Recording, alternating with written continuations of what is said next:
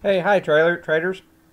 I'm going to do a quick weekend video of some of my the stocks that I'm watching. I'm going to start with the ones that are uh, extremely high RSIs and uh, how I look at them at this point in the markets.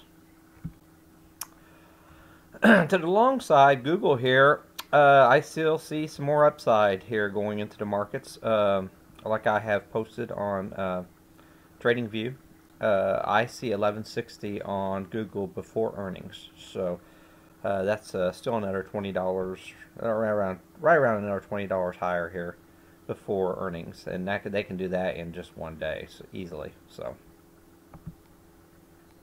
Amazon's a little different story here. It's running into some resistance uh, on the weekly and the daily time frames. So just keep this one in mind here that uh, we may have topped out going into earnings, and um, if anything, we're probably going to see a lot of chop at this uh, these levels.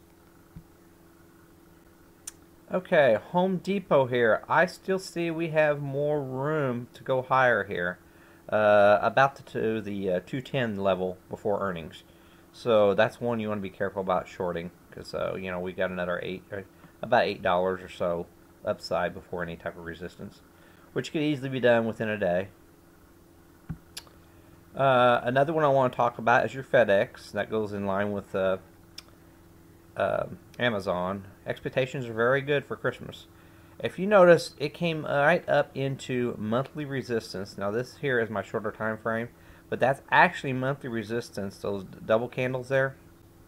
And we're right back to that area right now. We're right back at the tops on uh, FedEx and that is a monthly resistance area. So I'm kind of thinking this is going to have a lot of difficulty going higher until the actual numbers hit the hit the tape from earnings. I'm looking at Best Buy, and it's like a lot of the other retailers, just completely on fire here. Uh, we are uh, right into some resistance here on our weekly time frame. So just keep that in mind. We got overlapping uh, R values right here at this level. So that's a, a little bit stronger case for resistance. So just keep that in mind for your Best Buy that short term we might have some calls consolidation or sell off. Caterpillar, uh, that's another one that's uh, is a little lofty right here. And with what's happened this past week with Boeing coming down because of the Alcoa numbers, this is kind of in the same camp there, but not exactly the same. So just keep this one on your watch list. Uh, a watch. Um, I would be very careful about adding to the long side. If we do get any sort of uh, correction, the, this area here is likely to get hit first.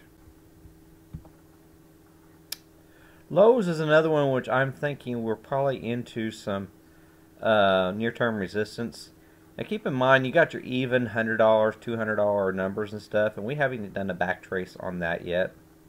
So uh, just keep this in mind. We are into a Fib fan zone resistance that we just went into. So it wouldn't surprise me one bit to see us come back and retest 100, uh, 101 or something like that uh, this week. So keep that one on your radar. Another chart which I wanted to show, which we came across, uh, all-time records for the longest period of days without a 5% correction. You got 386, 394 days. Right now, we're at 395 days.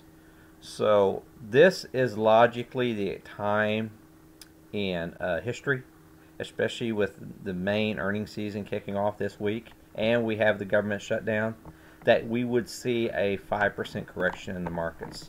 So just keep this one in mind. Uh, there's no guarantees that's going to happen but uh, whenever you get to extremes like this, uh, they you know they tend to whipsaw back. You know how it all works. So be very careful with the, your long positions.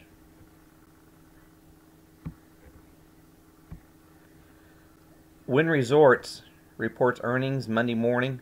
So be sure and keep Alibaba on your radar because if Wynn comes out with extremely strong numbers and starts to rally, the Chinese stocks in general are likely to catch a lot of interest. Baba for one, Baidu for two, and if you could tell, we're not really into uh, some uh, in, within our Fib fans, we do have room that we can run within our Fib fans. So just keep this in mind on Baidu.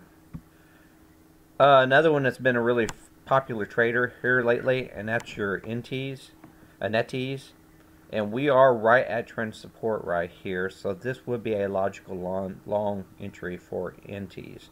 So uh, that's uh, some ideas I wanted to float with you guys. Keeping my video short here, uh, you can uh, contact me if you want to be a part of my group or, or anything. Uh, leave a message. Uh, thanks a lot, and um, see you next week.